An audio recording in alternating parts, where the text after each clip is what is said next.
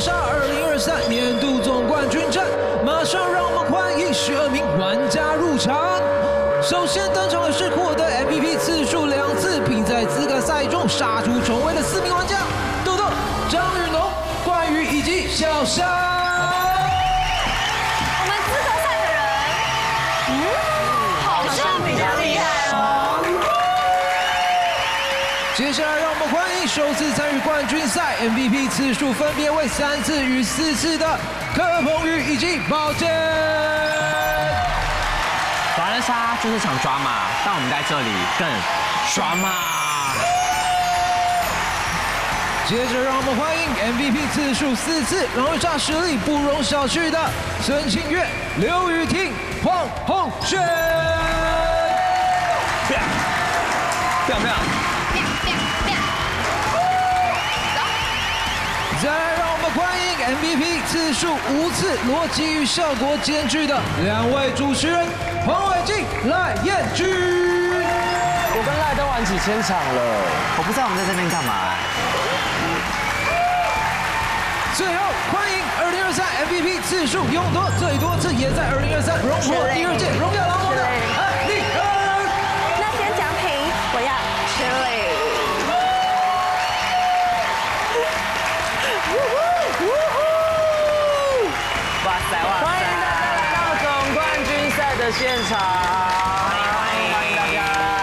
本次的二零二三的年度总冠军呢，是由二零二三年获得 MVP 次数最高的前十二名玩家来一同角逐这个今年的总冠军。没错，那我们二零二三呢，荣获最多的人就是我们想要领奖品的 艾丽安，得到了六次的 MVP。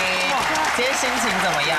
压力很大，因为就是我刚刚很空虚，一个人出场的感觉，但是就是会好好加油的。还有很官方吗？超官方好加油没事没事，可以的。那我们这次的这个总冠军的阵容呢，有两位是第一次来登上总冠军，就是宝剑跟柯鹏宇。Oh my god！紧张吗？很 drama 哦。很紧张哎，有点，因为我刚刚是想说我会怕拖累我的队友 OK 因为我觉得我自己绝对跟总冠军无缘呐，就是想说陪玩的陪跑，但是很怕得罪到别人这样子。得罪。但你们你们收到通知说，哎，我有入选的那个心情如何？我跟你讲，我当下非常 drama，因为我当时在做那个做脸，然后就做脸的时候就敷那个面膜，然后就一看那个讯息，然后就一看总冠军，啊，跳起来我面膜直接飞出去，真的真的？真的 drama 不敢那你有相信 drama 的吗？我就是觉得啊，好晒哦，这样。好意思啊，好意思啊，被我晒到了。反正就把自己做好的准备，好好的展现出来，对。这样就好了，尽力而为就好了。OK，期待期待，好官腔，什么语走官腔路线？好了，那因为呢，我们资格赛也是打得如火如荼，因为晋级的有两位是满分入场的，来豆豆跟小翔，你们心情怎么样？不是总冠军赛这么得来不易，我现在好珍惜哦。因为资格赛有够难打，而且没有我这个导师，你们两个会不会有点孤单？有一点，对。没有，因为如果你真的没有晋级，我们就是除名哎。除名。那小翔呢？就是新郎的他们都说，就是我跟宝剑是新郎里面全村的希望，真的觉得所以就是来努力试试看这样。没有没有，只有他。没有没有，没关系，没事，还有歪还理有机会啦。好的，那因为你你之前拿过一个总冠军，没错然后你之前有扬言说你每四年都要拿一次，来今年你是胜券在握，是不是？没有，我觉得奖杯也是在外面流浪蛮久的，就是因为我得到第一届了嘛，然后因为绕回一圈，我们三个都得过了，对，正常应该是一个循环。这个世界，循环这个世界就是一个 circle 啊，回来了，对。OK，今天就期待到底谁能够拿到这个总冠军了。好的。那我们现在讲一下这次的赛制说明，我们总共会进行三场十二郎，十二郎，十二郎，太多了，台语明显，出狼黄昏是不是？台语啦，十二人的上警局。那每场游戏之后结束之后呢，我们每位玩家都要选，要分顺序，分顺序选三位你觉得玩的操作最好的玩家。为什么要分顺序呢？因为这次的积分有一点我们调整了一下，如果是你的第一名的话，他可以获得两分；第二名可以获得一点五分；第三名可以获得一分的积分。所以呢，这个排序是不分阵营的，只要你觉得他操作好，你都可以选。那每一场获得的积分我们不会及时公开哦，在整个三场结束之后，积分最高的那个玩家就是我们二零二三敖狼杀的总冠军。好的。没错没错，讲完规则之后就要讲奖品了。对，好的，奖品有什么呢？首先可以获得我们瑞雅环保提供的极许净热合一耐滤净水器，拥有独家专利技术的美国百年科技品牌奇异净水，打造出呢能保留八大矿物质、除热式调温、节省七十帕、除下空间以及超大热水流量的功能，不管你要泡咖啡或是你要煮饭，都能更方便哦。哇接着可以获得由 OVO 提供的推推闺蜜机一台，免组装机台，让你推到哪看到哪。二十七寸高画质显示器，让你拥有无限追剧新体验。荧幕还可以旋转一百八十度，倾斜四十五度，升降二十公分，轻松调整你的健身、追剧、打游戏的最佳视角。采用特斯拉级磷酸铁锂电池，首创续航八小时，娱乐不间断。以及呢，还可以获得我们由 HND 东道家具所提供的电动单人沙发，马丁尼高背猫抓布机能电动沙发，一键就可以找到最舒适的角度，无段式的擎仰展开最高一百六十度哦，轻松的仰躺也可以让身体得到深度的放松。那我们的猫抓布呢，表皮耐磨、防刮、抗污，所以呢，你有拥有猫小孩的你们也非常的适合。最后还能获得由 KP 记忆香氛提供的潘朵拉的秘密经典礼盒组，洗发露、沐浴露、身体乳、护手霜、扩香一次拥有，将轻奢香气巧妙融入你的生活之中。就用 KP 记忆之钥的每一款香气，带你体验不同的、不同意境的感受。以上总价值超过十万的豪华大奖，都可以让总冠军一人带回家。OK，当然呢，收看我们节目的观众朋友们，你们也有机会获得好礼哦。所以呢，只要锁定我们总冠军赛两周的播出，然后并且呢上娱乐百分百官网参加二零二三总冠军系列赛的活动，然后就有机会获得我们 KP 记忆香氛所提供的潘朵拉的秘密经典礼盒组。所以呢，你周周都参加，中奖率就会越高哦。那详细的情形呢，你们就看我们娱乐百分百的官方网站的公告。在进行第一局的赛事之前呢，我们要先抽出第一局的座位号码，有请汪汪上台。没得选，你最后一个，抽抽紧张，紧张，第一个，第一个，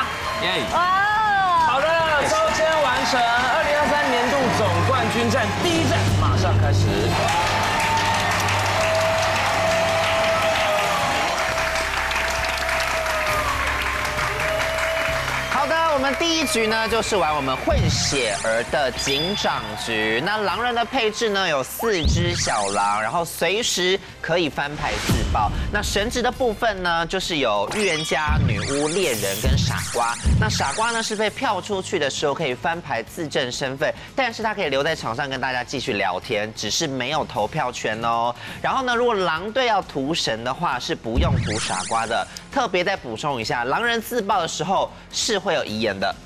OK，OK，好的，那讲一下，今天有一个特殊的角色叫做混血儿，他在第一天晚上呢可以选择支持在场的一位玩家，但是你会不知道那位玩家是好人阵营还是狼人阵营，你必须要靠白天的表水来分析，到底你这一场要帮好人玩还是狼人玩。混血儿被预言家查到的时候，呃，一定都是金水。那混血儿不论支持哪一个阵营，他都是平民的身份，所以狼队要屠民也需要屠掉这个混血儿哦。好，那本局采双爆吞警徽，警长一点五票，没有问题，就请确认角色身份。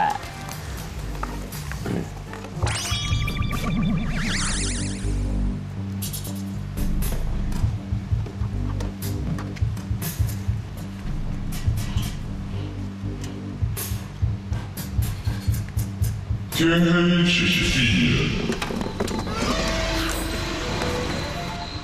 现在开始竞选警长候选人，请起立。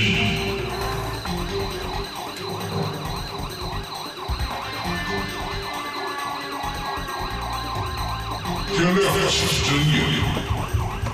请抽警长证件发表顺序。二号，顺向发表证件。哦，没有没有，没事，日常上镜，想说上来点评一下。然后名牌的时候看到九号笑得很灿烂，五号在呃警长，就是我们在抽牌的时候，他也一直很关很着重观察大家，所以我觉得五号好像有事情要做了。然后还有一个很认真观察大家是十号，所以十号可能也是挂身份，目前只领到这些资讯。然后就听后面看起来比较像预言家，我觉得认到的话，我可能会坐下过了。呃，四号发言就是想说冠军赛打一些不同的操作，我是上来想要点评预言家的，就是我没有要跳，然后我就是单看这个上警的人的一些卦象，前面只有二号先发言嘛，那二号在我资料库里面，他现在状态、神情跟他的发言暂时先偏好，那其他人我还没有特别听到发言，但因为听二号发言的时候，我顺着看着一号。就是一号的脖子很抖动，就是一种生理反应，不踩他。但我只是觉得一号有没有可能是那个要起跳的，就是预言家。对，就是这是我前面观察到的。然后我旁边五六号没有什么感觉，然后八号我觉得，呃，微微微微光看卦象，我先保八号。原因是因为我在接到我要录狼人杀冠军赛的时候，我大概。对七八九十四个不熟的玩家做了大概有五十场的功课，然后呢，八号的表情从他初登版二零一九年的十一月二十八号开始，就都是怪表情很多的。他当狼，他的身体很诚实，所以我觉得我对八号资料库还蛮充分的。对，所以我暂时先觉得八号像好。那九号目前没有看他有什么，因为他脸一直撇到旁边嘛。那十二号感觉来势汹汹，来势汹汹，但是这只是我单单看卦象的一些分析啦。那我前面我觉得比较做好的二号发言挺好的，然后我觉得八号卦象蛮好，然后五六没有感觉，先这样过。我听完二号，我觉得二号还行，在井上没有打操作，虽然他点了一下我，但我觉得二号的整体的发言感觉是蛮舒服的。但四号，呃，我觉得四号大概率有可能摸狼，我自己觉得。因为我自己觉得四号去空保了一个八号，在我这边我是觉得比较开眼的，就是虽然说他是米卦象，但我自己觉得没有听发言就去保到后面的牌，然后点了十二号，就是他几乎把全场的卦象都点了一遍。我自己觉得，在我这边四号可能对我来来讲视角会比较开。那因为他有去讲一号有没有可能起跳嘛？我如果在想说一跟四有没有可能作为一个就是。队友，就是我自己这样想啊，因为四有去点一说一有没有可能起跳嘛？那或许是不是一是那那张比较要悍跳的牌，那四是他狼队友，我自己这样想，就是四他是有把他的一些工作量在，就是他在这个第二次位，我认为工作量有点多，在我这个这个地方认为，但呃再听听发言吧，因为四的比本来的格式就是这样子嘛，四的发言格式本来就这样，但我觉得四唯一的好处点就是他有去点说二还不错，那我自己觉得二也还不错。那如果一起跳，然后一又跳的不是很好的话，我会更怀疑这个四号牌有可能是提前给一号工作，就是我自己是这样想的。那反正就听听后面发言，就这样过了。好，我也是一个为日常上镜。那我想要聊聊我的名牌，呃，先聊井上好了。刚刚井上的话，我觉得二五还不错，四我觉得有一点没那么好的。原因是因为四号他非常会看我跟二号还有十一号，可是四号他的发言是说旁边五六我没有感觉，所以我会觉得我觉得四号应该可以对我有一些点评，可是他没有讲到这个的时候，我会觉得是不是在保有一点空间的感觉。所以前面二四五比起来，我会觉得四稍微比较差一点，因为五号跟我看法蛮像，也认为二号，也认为四怪，所以我觉得前面四可能先先进我问号区。然后我的名牌是名一三八十，那呃一号是抽到牌，感觉他不是很喜欢这张牌的感觉，就是很很带身份。然后八号是我在看八号的时候，八号一直在。撇头抿七嘛，就是你有一个一直在看七，所以我等下可能会听一下八号对七号的点评。那十号是眼神狂飘，就是我抿十号的时候，十号眼神是一直左右狂动，所以我觉得一八十就怪。然后三号是因为他今天身体微恙，所以我也不知道他看起来就也不是很开心，所以嗯，可是因为他身体微恙的感觉的关系，我不会把他就是觉得特别怎么样，但还是要听发言，毕竟现在井下只有三十十一。所以，因为前面二五跟我自己我都觉得蛮好的话，可能后面假如说出两个对跳，我觉得井下可能要非常的着重。对，那我就是好人日常上经过。好是预言家，然后我的警徽流会先压五井上的五跟井下的十，然后三号跟十一号就看上票，然后我验的七是查杀，然后待会后面的是一九十二嘛。等一下，只要一跳，就是他悍跳，只要一悍跳，我会直接保六，因为六是井上对着一说，他好像拿了一张什么很很怎么样的牌，然后很狰狞怎么样的，所以如果一跟六是双狼的话，六不可能在这个位置直接给自己的队友压力，所以等一下如果一跳的话，我会直接保六号，一没跳的话，六就是井下一听发言，然后我井上会想要验五，是因为我独立听二，我觉得还不错，还蛮像好人的。我觉得四能够在这个位置直接去保下二的话也还不错，然后四是直接说我很像好人的嘛，所以四这一票一定是几乎是要跟着我走的，所以五号就相对稍微近我位置一点点。那验七的心路历程是因为就像六讲嘛，六说的六说的也是实话，因为我看六跟七是看最久看最用力的，那我觉得七的卦象不太好，那我也没有办法单纯用听他的发言就直接判断他是不是好人，所以直接用验。那七是个狼，然后现在对我们好人是非常有利的状况，是因为七在井下，那会有一个人跟我悍跳，所以我的视角已经有两只狼出来了，所以待会就是就是呃谁悍跳最好是一悍跳，一悍跳就一跟七双狼，然后我会直接保六，保六的理由也讲出来，然后再讲一下我刚刚看到的，就是在因为我预言家，所以我会观察大家，我在看就是要带亏之前，八跟十二是。最晚带亏，然后他们两个互动也很多的，最晚带亏，所以就感觉有很多话想要说，那就这样，那八十二跟一里面会踩一个悍跳，然后后面全部听发言，那我是预言家，哦对不起九九，我说九，口误口误九号，然后二号也认到我了，所以我现在有二的票四的票，然后七不会上票给我，所以我需要井下的三十十一，就是是好人的话上票给我，好，那。好像都讲完，没什么 lose 掉吧？七查杀，然后验五，验十。那我是对三跟十一就是相对有信心，如果是好人的话会上票给我。好，好哎不是说十不好，就是禁验不代表你是狼，好不好？OK，五十验七查杀，我是预言家过。好，我是预言家，十二是我的精髓。我命牌的时候是看了一五七十十二。看了五张牌，然后为什么我会查十二？是因为我在入夜前是一直看这个十二，然后十二给我一个 诡异的笑容，然后我定它又不是定的非常准，所以我验了这个十二，然后十二是我的金水牌。然后我想一下，八的师姐刚刚一直在保这个六，我觉得有点像在摸头的感觉。然后他点这个十，我就觉得有点像在点队友，因为十给他的反馈是有点嗯，就是看了一下，然后微笑了一下。然后前置位点评的话，我觉得二。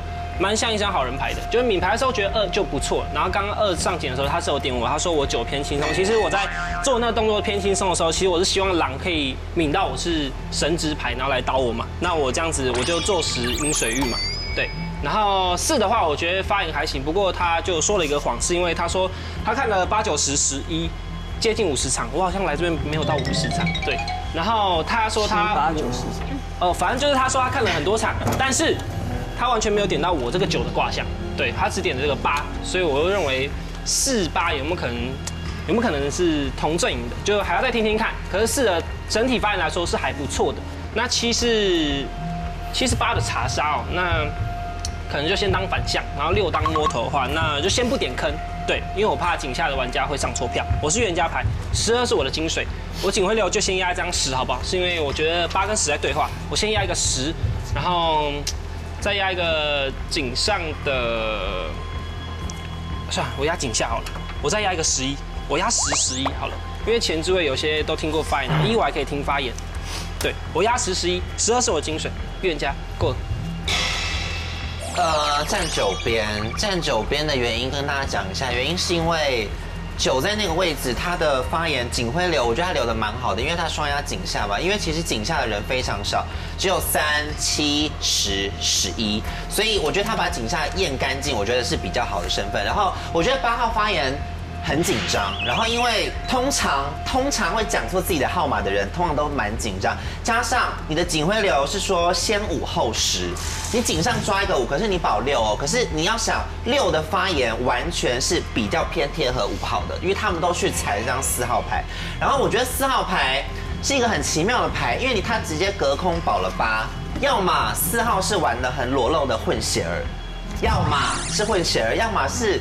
因为我不知道你你有什么视角可以隔空保二八哎，你只能是混血了吧，或者是很会看的人吗？我不知道，因为你保八这个行为太怪了，所以我觉得四八有可能是一组的，然后。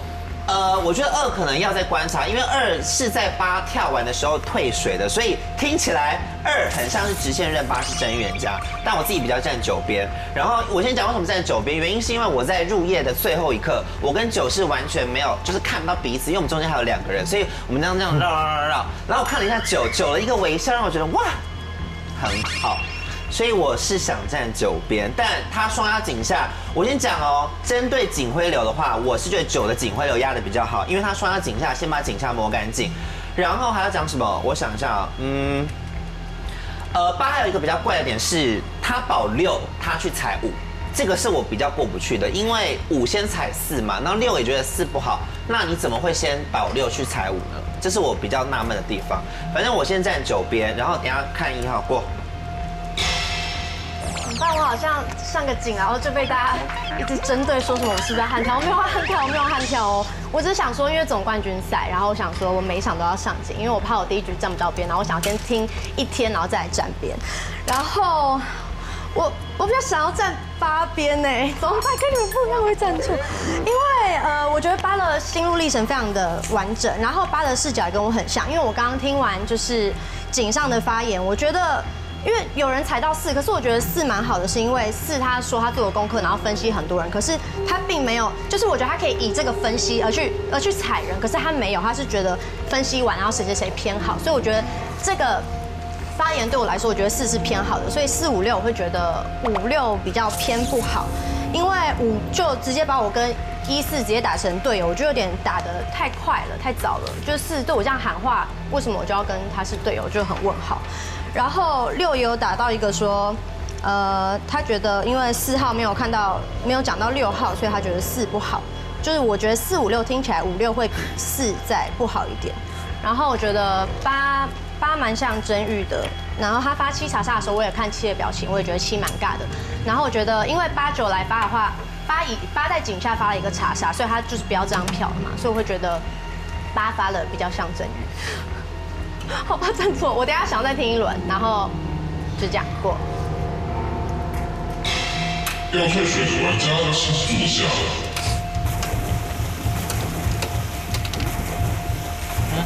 八号，当选警长。八八八八八八八八八八八。警长决定请呃公布作案结果。警长决定请左警右。七号开始发言。嗯，自爆。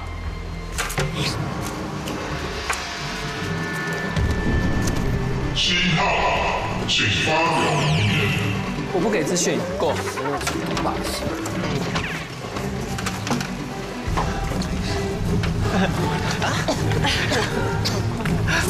天黑请闭眼。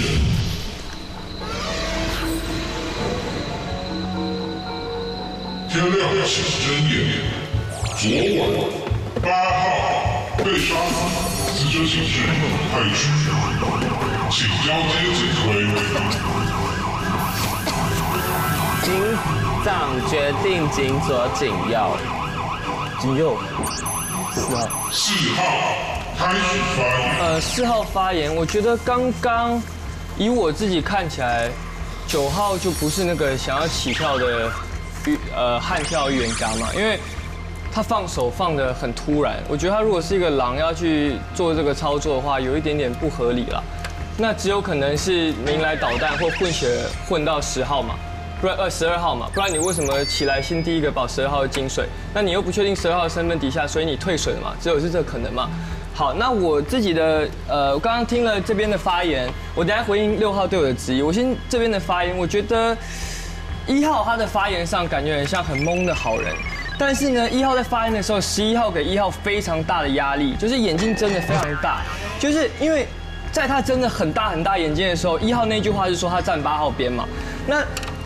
一号说他站八号边的时候，十一号给一号非常大的压力。对我来说，好像十一号在跟一号对话，说你怎么可以没有冲票的这种感觉，因为他给那个压力不是一个很健康的压力，就是他站谁边，你不需要去瞪他。所以我觉得十一号这边有点入我的坑啊。然后，那这样的话，谢老师。然后这样这样的话，我会觉得十十一跟一像双狼哎，因为一号本来的发言我这边是保好的，但是十一号给一号那压力，我觉得是不对的，就是。你不，你当像我在发言，你不会给我太多压力。他们前置位在发言，你也没有给他们太多压力。但是为什么你偏偏给一号这么大压力？我觉得这边很怪。这样七号自爆做十八号是真预言家嘛？那好，就只能说十二号跟一号是其中一个原本要起跳的人，因为剩他们两个在末置位，没有人起来悍跳嘛。那我会认为九号混到十二号了。那我不知道十二号身份什么，但我可以以这样推理来说，我觉得一号跟十一号是双狼，加上七号自爆。那好，回应一下六号，为什么没点评六号？是因为。我答应过你，就是我在第一天，我绝对不会去抿你的卦象，有，绝对有。在我们私底下，我刚才讲过，我不会抿他的卦象，所以我觉得第一天我先放过雨婷。但是孙悦踩我，孙悦这边我有点问号，是因为他踩我的理由我没有很接受，虽然他有他的论点也合理，对，但这边我就是一个问号。那我觉得十一号跟一号在我的视角作为双狼情况底下，宝剑蛮好的，我要先讲一下，因为宝剑他。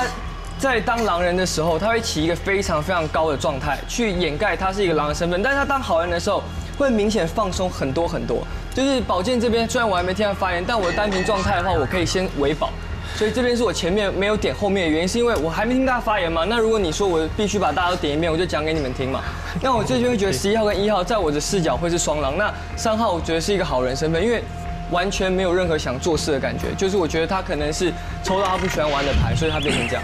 那这边我会觉得十一一入坑，然后七号是狼自爆嘛。那我会觉得是五跟十二，还有九三个容错。那我可以从九号，我觉得九号大几率是混血儿了。那我们就可以摸摸十二号跟五号的身份。然后我是一个好人牌过。可是五号已经拿金水啦。哦，对，对，一一点口误啊，一点点。这是，但是也有可能呃狼混不知道什么东西啊，反正就是，我觉得刚刚那个格局来看。一跟十二就是九九，我也觉得他应该就是在打一个操作的好人。那到底十二跟一谁是原始起跳位的话，我可能会比较偏一，因为我觉得十二不会那么笨，就是十二的视野里面一定会知道八是真的预言家，因为查到了七就如果十二你是狼的话，你知道你的狼队友被发了查杀，所以八一定是真预言家。然后九发你金水的话。我我觉得，如果你本来要跳的话，你一定会说，哎，我才是预言家，然后什么什么，你不会在那边哦，我要站九边，然后就是挺一个假的预言家，因为你可能会知道他要退水，所以到时候你就很没力度。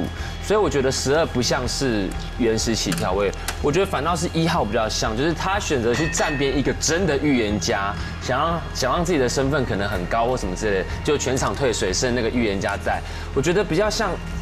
雨农会做的事情，就是如果我们要看十二跟一号的，就是谁比较像原始起跳位的感觉，我觉得是一号，因为偏笨，就是 就是我我在看谁会做那个偏笨的决定，就是感觉一号会觉得哦，那没关系，我就站那个真预言家边，哦退水了，你看你看我站对边了那种感觉，因为我觉得小赖不会做这件事情了，好，反正可以再听一号第二轮，因为觉得十二号刚刚的站边九。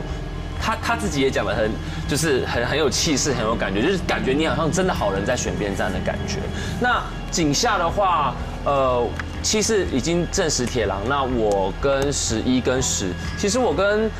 呃，因为我还没有听十跟十一的发言，那我自己的观察，名牌的话，我会觉得十是比较有卦象，就是我跟二看的是差不多的，就是十的卦象比十一多。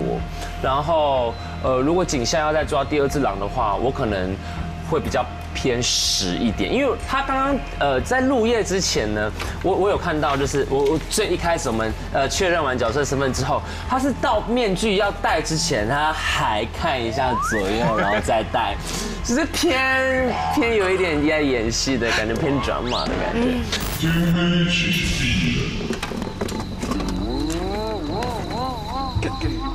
对，没有没有景象都还没有听到嘛，就是十跟十一，所以还是要再听一轮才知道。我我只是觉得我的名牌先那样子，然后刚刚四号有一个小口误，就是他他想从就是五十二九来抓什么一个什么龙出来什么的，可是五已经接了一个金水。那反正我们现在还不知道那个混血的到底是你知道混到好人坏人，我觉得我还没有必要排到那边去，因为我觉得太乱了。那二号感觉是全场卖给我的好人，就是不管是就是 everybody 没有人讲，没有人在讲你坏话，所以二号感觉是蛮好的。然后因为如果我怀十一七的话，再抓一只的话，我真的我真的不知道，就是这一只我真的不知道。在在哪里？你要说是井下的豆吗？我根本还没听他发言，还是井上的呃六吗？我我我觉得六那时候打一的这个东西，因为我现在有点质疑一，所以六打一的这个东西，我会觉得那六可能偏好，难道就是四喽？我可能就是这样排排排排排，可能就是比较是这个四这样子，对。所以如果我先抓四只，四只一七四十，对，但实时在听啦，在听过。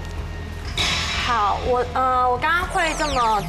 就是觉得八号就是预言家，是因为他的警徽流让我太满意了。因为我刚刚不是说明卦象的时候五跟十，就是感觉有身份嘛。然后他警徽流就是留五跟十，所以我觉得很开心。然后呃七查杀这件事情，是因为井下只有四张牌，所以他等于不要七号这张牌了。所以要么就是他井下有很多三，其他三个都是他的狼同班，他才敢发七呃查杀嘛。所以我觉得八做这件事情是好的，而且他保到六，就是我觉得视角很正，因为我觉得六。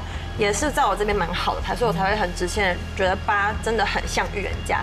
然后呃，因为我本来也有个对跳的人是一号，所以想说一号真的卦象不是很好，那我就因为我在井上的时候就跟大家说过，呃，我认到会退水嘛，所以想说哦，那我就先认八是预言家，所以我就直接退水了。然后我觉得一号是定狼哎，因为 因为他起身第一句话说。我想站八也跟你们不一样，可是前面只有十二一个人发表意见，为什么会是跟你们不一样？所以我觉得他有点慌。我比较想要站八边呢，怎么办？跟你们不一样会站错。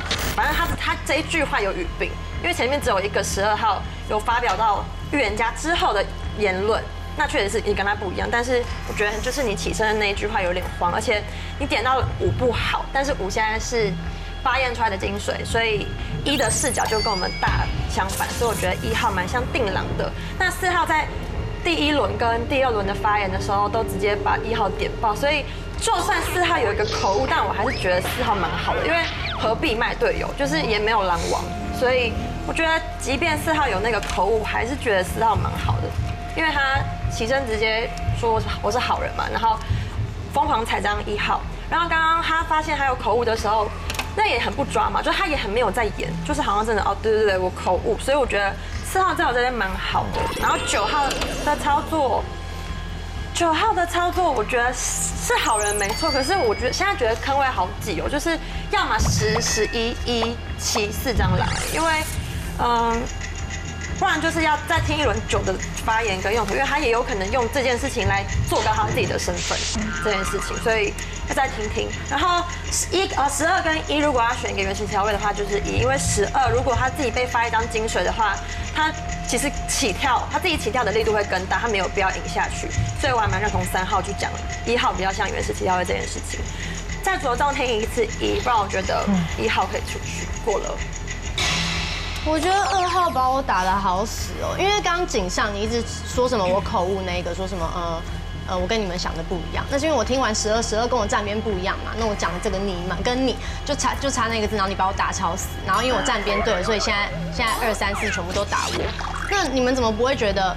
十二才是那个原始起跳位呢。如果我今天我是一个原始起跳位的话，我起来，然后我去认一个正玉，然后帮这个正玉号票，然后去要去帮他就是抢到这个警徽要干嘛？我就自己跳就好了。如果今天拿一个狼牌，我跳，我我就是我发言不好，那我宁愿去悍跳。所以我不懂为什么你们要现在把我打那么死，然后觉得我就是那个原始起跳位，然后因为我站对边，超级奇怪。然后。呃，我第一轮我没有我没有把五号踩死啊，我只有说四五六发言的时候，然后我觉得四比较好，因为我觉得四在分析大家的时候，并没有把大家踩得很重，所以我觉得五六偏不好一点，但我没有把五六打死，我只是说四比他们两个还要好而已。然后加上刚刚呃四有点到说四，我还是觉得你是张好人牌。虽然你有点到说我现在是你的狼坑，因为十一看我那个，我是没有感受到十一给我什么压力啦。对，我不知道是观察到十一给我什么压力，他眼睛突然瞪大，可能是你们互相彼此比较了解，所以还是怎么样。我是没有感受到为什么十一给我这个压力，所以我待会也想要听一下十一的发言。然后呃，我觉得我我现在狼坑可能就会排在二七，然后我想要。听一下十二的发言，因为因为因为其实我抿牌的时候有抿到，我觉得九算是偏轻松的，所以我其实我我九在跳的时候，我也不觉得它像一个真玉，但我我不知道为什么十二会去认到这张九号牌，所以我会说十二跟我认的不一样这样子。那我后面想要着重听一下十一、十二号牌，然后二我现在嗯现在是入我狼可能对过。那就好像只能票一了。我先跟一号讲，就是如果你是好人，你一定要打死我，因为在九号跳之后只有我们两张牌，所以我们两张有一个一定是原始起跳位，所以如果你是好人，你就要打死我，你才会是好人，而且你还要听我讲话，所以。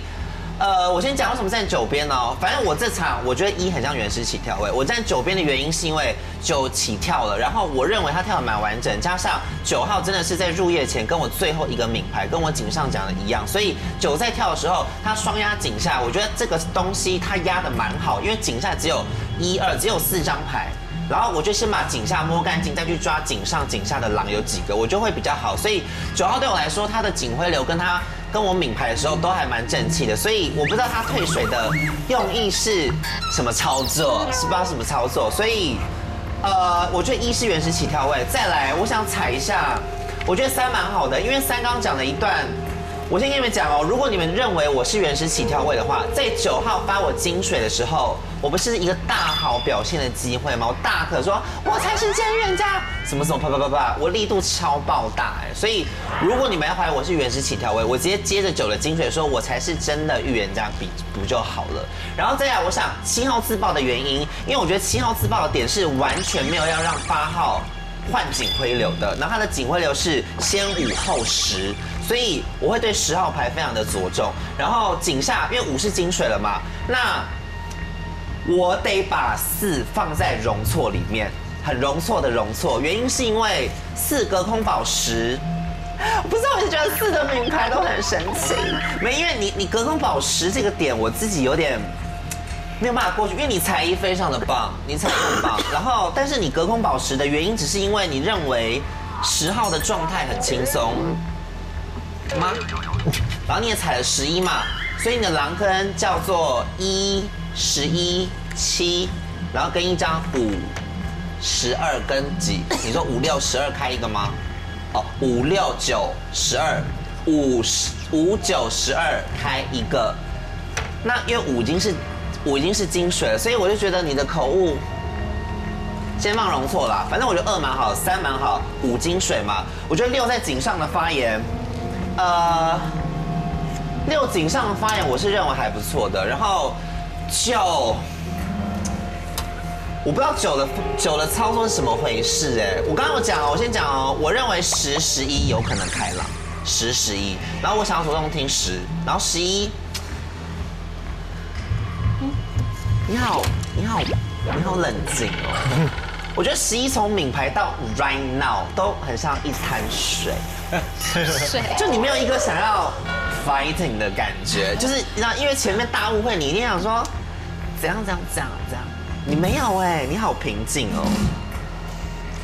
嗯，好，我先打我狼坑好了，一、七、十、十一，容错四，容错四，然后九。酒的话，酒我在放容错，因为我不知道酒的操作是好人还是坏人。过了。有人误会我，我这 fighting 起来就好了呀。